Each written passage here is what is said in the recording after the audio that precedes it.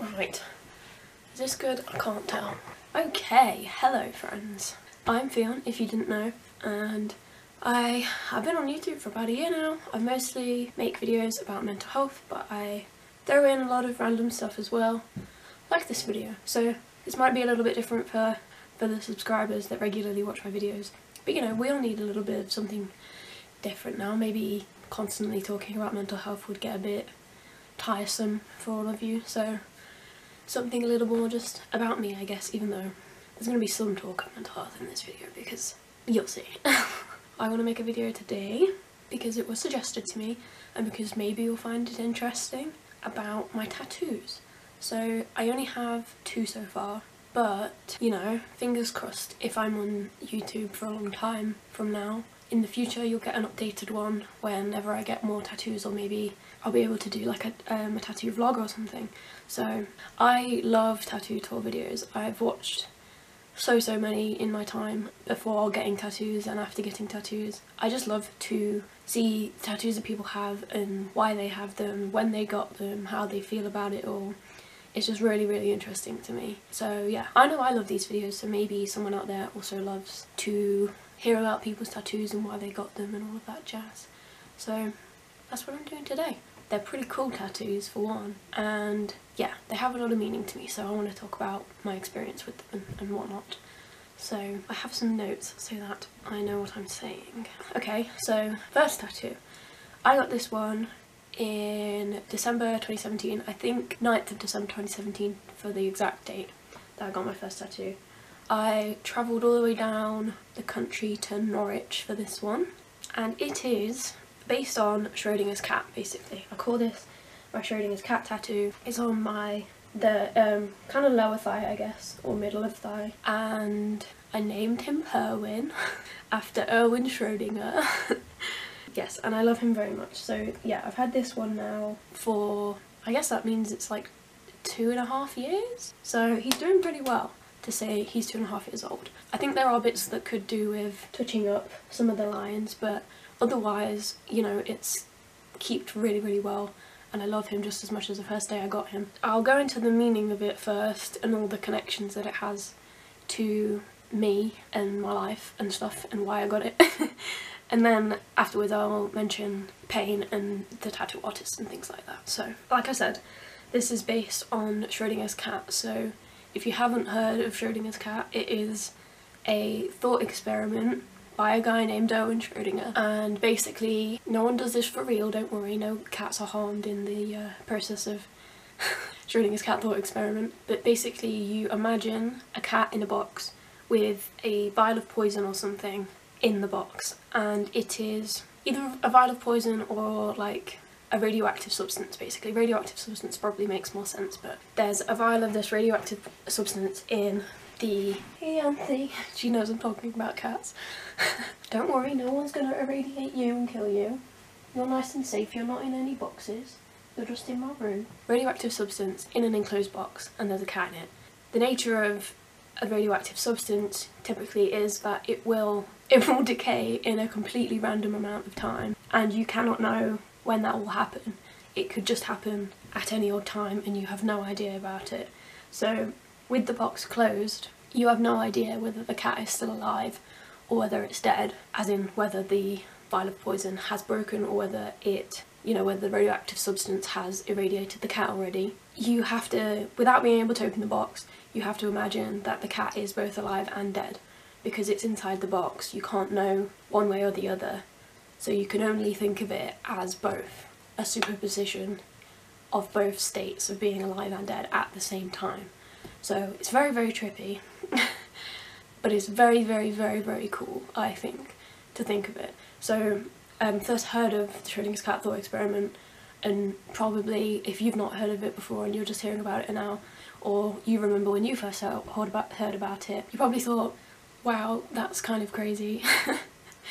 what does that even mean? You know, maybe you even thought whether you believe it or not, whether you thought, whether you feel like you can say that the cat in the box is alive and dead, or whether you think that it is one or the other, it can only be one or the other. But then I studied physics and learnt more about the Schrodinger's cat thought experiment, but more so Schrodinger's equations.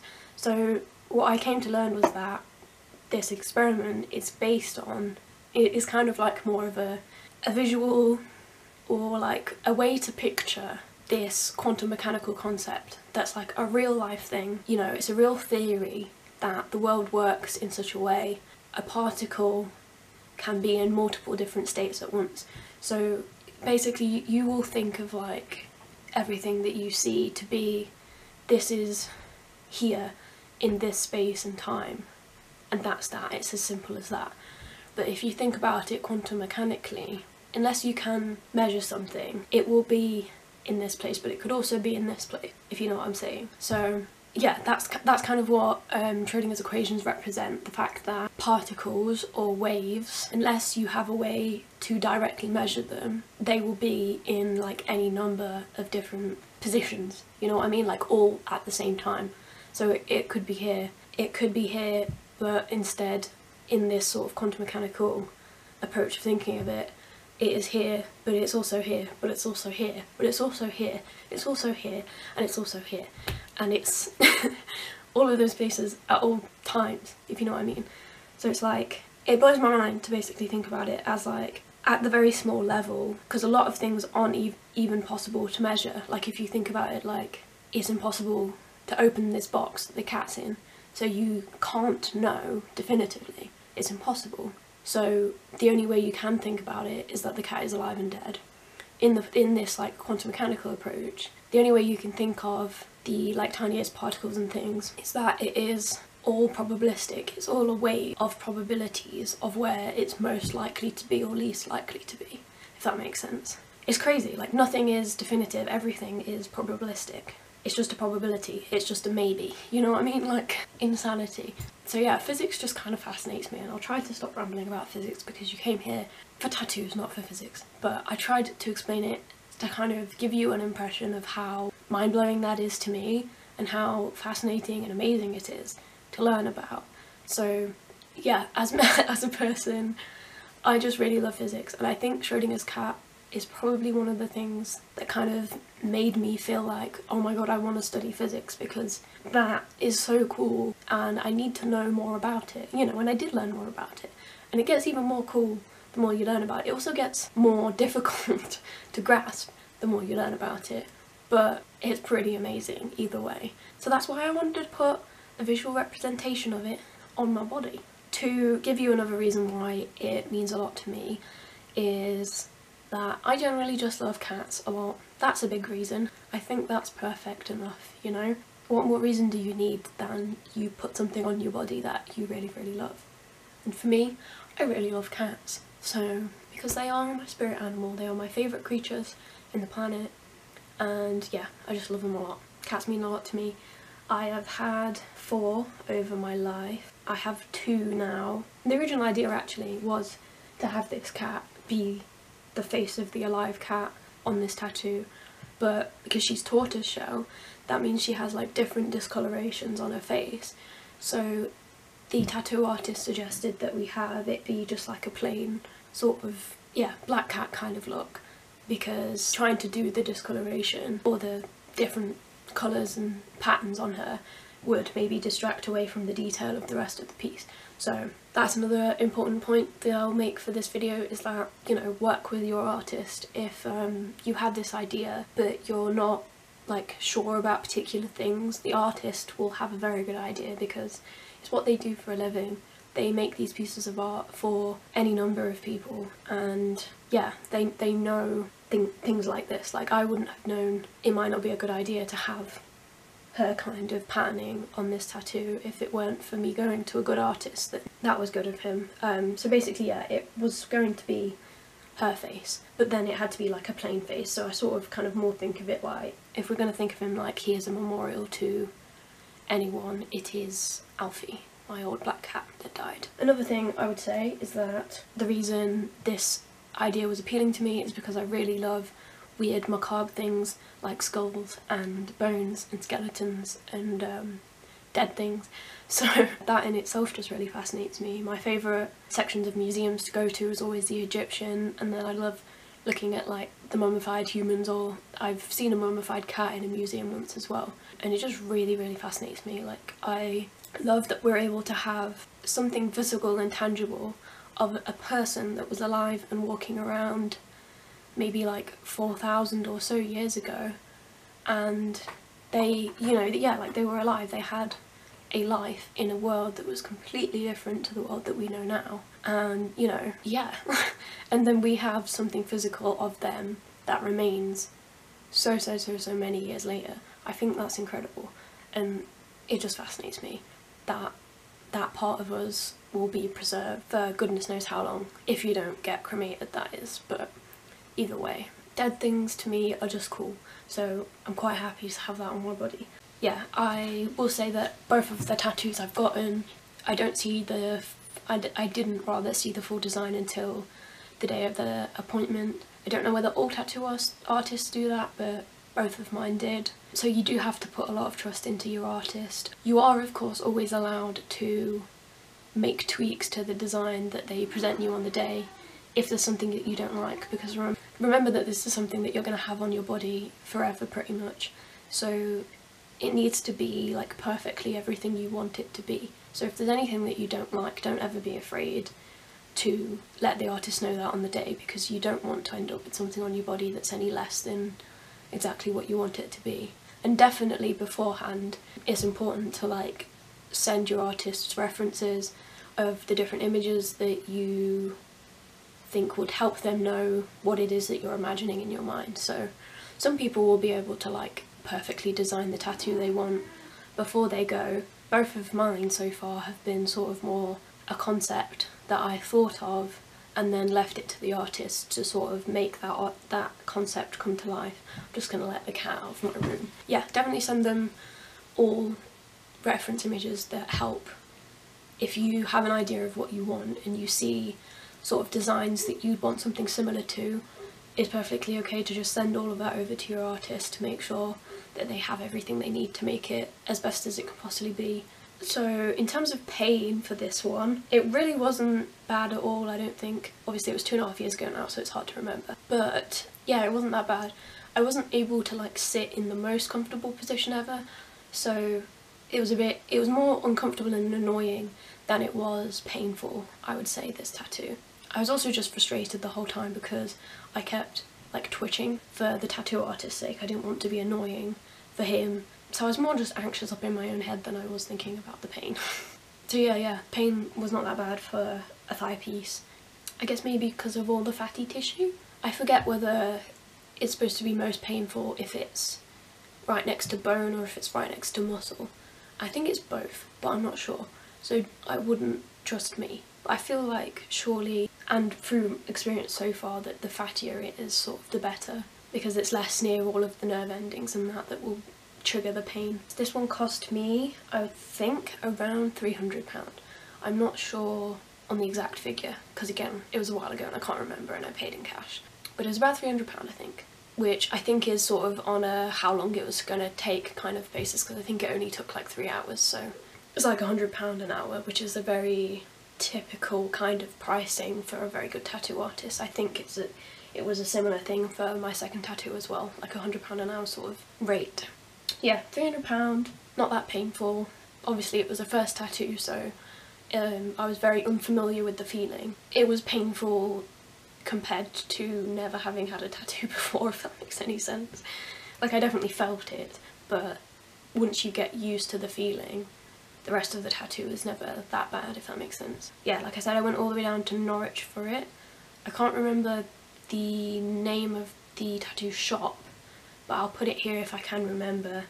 And the tattoo artist's name was Thomas Bates, so his Instagram will be around here. And so we should probably move on to my second tattoo because I've been talking about my first tattoo for a long time. This one will probably take less long to explain because its main meaning for me is what it represents for my mental health journey basically. So this tattoo is a phoenix and you probably know but if you don't, phoenixes, they are a mythical bird creature that when they die they burn into ashes and then from the ashes rises a reborn phoenix basically. All fiery and beautiful and better than before.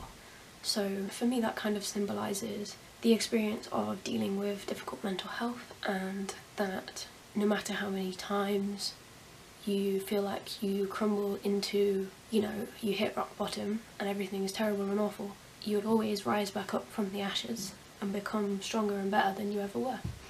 And that's kind of, to put it simply, what this tattoo means to me. Like, I am a phoenix and cannot be destroyed basically by whatever is being thrown at me.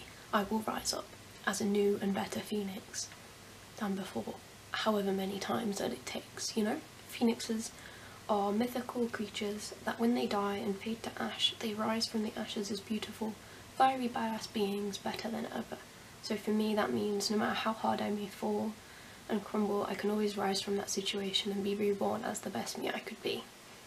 I will always be okay even if I hit rock bottom because I am a phoenix and I will get the heck back up again. yes, I've also written this tattoo and the idea for it kind of came from one of my favourite quotes of all time which I might misquote now when I say it but I'll say it anyway and put it on the screen if I've said it. It's, for a star to be born, one thing must happen. A gaseous nebula must collapse. So collapse, crumble, this is not your destruction, this is your birth. Which is so poignant to me. Again, a very, very similar thing to phoenixes. Stars go through the same thing. They are always born from the death of another star. As the quote says, a, a, a star will sort of explode and collapse and send materials out everywhere and the energy from that destruction and the chaos will birth a new star which will be as big and bright as be and beautiful as ever over astronomical units of time but still that's how it happens and yeah that kind of I had the idea for a tattoo based on this quote long before I even thought of getting a phoenix um, because the quote kind of just means a lot to me and I found it at a time when things were extremely difficult and I feel like repeating it as a mantra to myself sort of helped me get through these things. Yeah, just knowing that in death and destruction and horrible things like that, beautiful things can be born out of them and arise from them and these things can be bigger and better than the, the death and destruction ever were in the first place, if that makes sense. That's something that really gets me through. It's a positive spin on very negative circumstances um, yeah.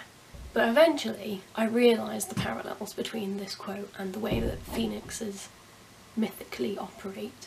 The way that their life works just made so much sense to me for, you know, a tattoo that represents my mental health and the journey I've been through and may go through in the future, a phoenix is a very good representation of it. And not only that, but the phoenix I got ended up being bloody badass and awesome. Wilfred Chite, his Instagram is here, the tattoo studio I went to in Nottingham this time, not actually as far, is going to be there and just thank you so much. It's incredible, I really love it. I got this tattoo days before lockdown was announced, so weird timing but it had been obviously booked and planned for a long time as tattoos typically are. But even though the whole coronavirus pandemic thing was still going on at the time, I decided still to go for this tattoo because of all of those reasons. And when you think about it, tattoo studios are probably one of the most like hygienically clean, clinical-esque even places that you can be anyway because they have to keep everything super super clean and professional in a place like that anyway because you're creating wounds in your body of art that can easily get infected if anything is not super pristine clean. So yeah, just hats off to Thundercats Tattoo Studio for, you know, making that experience as pleasant and easy as it could be in this current pandemic. They gave us masks to wear throughout the appointment because it was like a five hour appointment. It cost me about £500 but yeah we wore masks and there was hand sanitizer everywhere. They were down to skeleton staff so it was just Wilfred and Robin, Robin Tattoos. Um, they were the only two people in there, so any risk to me or anyone else was very, very minimalised. I was as safe as possible to get this done. But yeah, so it's about, we've done five weeks of lockdown, haven't we? And it was just before that, so it must be five weeks old. So it's pretty much healed now. I think it was pretty much fully healed by like three weeks. Because this is quite a, a lot bigger a piece than my other one, I would say the first three and a half hours, and he worked from the bottom of my ankle up to the middle in around that time, I would say. So that first half of the tattoo was pretty easy. I was lying down for the experience, so I was in a pretty comfortable position. I had headphones, so I just listened to music. I was nice and well distracted. Yeah, it really wasn't that painful for the first three and a half hours, I would say roughly. And then the, uh, the last hour and a half, I would say, is when I started to struggle. And I don't know whether that's because the area was up near the ditch of my knee, so potentially that could be a more painful area, I'm not really sure. But I think more so it was because he'd done so much of the tattoo already. My skin was really inflamed and irritated and obviously bits of it were bleeding at times. So the the skin as you go on gets more and more sensitive. So I feel like towards the end of it, it was just like, yeah, being tattooed in on a very, very, very, very, very already inflamed and sensitive area just made it hurt more. So I did struggle for the last hour and a half basically. It did hurt a lot more towards the end but it's all very very much worth it because I love the tattoo that came out of it. So yeah, I mean like overall the pain was not bad at all but it hurt more towards the end because it's a bigger piece. My tattoo artist did of course like give us breaks in between so that we weren't working through it for like hours and hours at a time with no rest, which helped. Breaking it up helped. I would say the only bit that really hurt in the beginning is like down right near my ankle where my uh, the Achilles tendon is. And I think that's probably again like because it's right near nerve endings and bone. So that hurt. And also I'm really bad at shaving. So I have like a scar down here. I can remember it hurting more around those points and I think that's because of the scarring and also because of the area yeah, but other than that, it didn't hurt that much. Uh, if you want to know what it sort of feels like, a lot of people say cat scratch. I wouldn't say it feels like a cat scratch. It, it definitely feels like you're being prodded very, very, very many times per second by a needle deep into your skin. It definitely feels like that because that's what's happening. And the pain, like it's definitely there even in lesser painful areas. But you very much just get used to it the more a tattoo goes on pretty much. So yeah towards like the middle of your tattoo typically you'll be so used to the feeling that you're sort of more numb to it and it just kind of yeah if people say that they don't really feel it it's probably just because they've gotten used to the feeling if that makes sense. But typically it's well worth it in the end if you've like paid the money for a very good art artist and you, you know, have a very good idea before you go in of what you want and you don't think you're going to change your mind, like you've sat on the idea long enough that you know what you want confidently and you're not going to ever regret it, then it's very, very, very, very, very worth any level of pain that you go through getting a tattoo, is what I would say. Because I'm not, I don't think my pain tolerance is super amazing, but in my mind, if I've got the idea and I really, really want the idea, it doesn't matter how much it hurts. I'm to sit through that pain because it's to be worth it. So yes, that yeah, two tattoo artists that I've had, Chite Art on Instagram and Thomas Bates Tattoo on Instagram.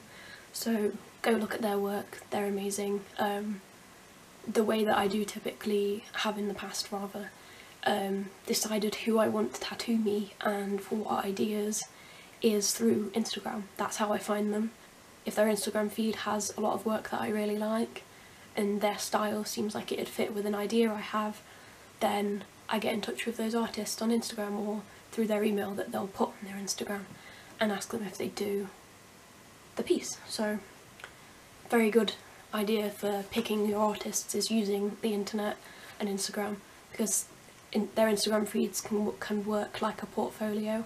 So use that to help you pick your artist.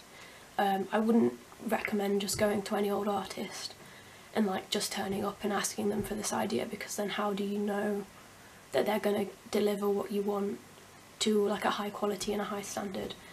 the more money you put into it, the better it's going to be really and yeah it can get expensive but again like I said with the pain and whatnot like the money is worth it. I would never recommend going to a cheaper artist because you think you need to get a cheaper deal because the the cheaper artist is probably going to do a way less good job than an artist that has a more like expensive rate if that makes sense. Don't come at me though if you do know of some artists out there that do overcharge for tattoos and things if you think that their quality of work is not worth the money but it, through my experience and what I kind of see from watching other like tattoo videos as well is that typically if they if they charge a higher rate then they're probably just that good at what they do that it's worth it. So yeah I think to round it up I'll just say that those are my tattoos. Pictures and videos hopefully were placed throughout. Um, I love them. I'm very very very happy with them. They both mean a lot to me for different reasons I know I'm going to get more on day. I have no immediate definitive plans of things I know I'm going to get so I won't put those out on the internet because I'm not 100% sure whether I'll get any of them yet. Like I do have a list in my phone of ideas that I like and you know as and when I think of ways to develop those ideas or think of you know like confidently feel like I'm going to get that tattoo someday then you know, then I'll like work on developing that and finding the artist that will be good for that tattoo and that sort of thing. Um, but yeah, so there is vague plans to get more tattoos because I don't know, I just love tattoos and I want more of them on my body because, you know, it's just like fun art pieces that you carry around with you on your skin all the time, which is pretty cool. And I think also when I'm more recovered from a lot of my mental health problems I would say that, you know, definitely when more of my scars have healed better, I definitely want to get um, scar cover-ups. I would like to tattoo over them, just because that would feel better to me. Um, but obviously, yeah, I feel like I'd need to be more past my mental health issues to confidently do that, so that's way in the future. Um, and yeah, probably any more tattoos are at least a few years in the future because I need to be more confident on the ideas that I want and whatnot first. A recommendation is to have an idea and sit on that idea for about a year before you decide to get it to make sure that you're not going to regret it basically. Um, which is what I've done with all of my tattoos pretty much. I hope you enjoyed. Leave comments below, anything you want to ask if you have any questions that I didn't cover. Um, like, subscribe if you like my content. Bye, I love you so much, see you in the next one.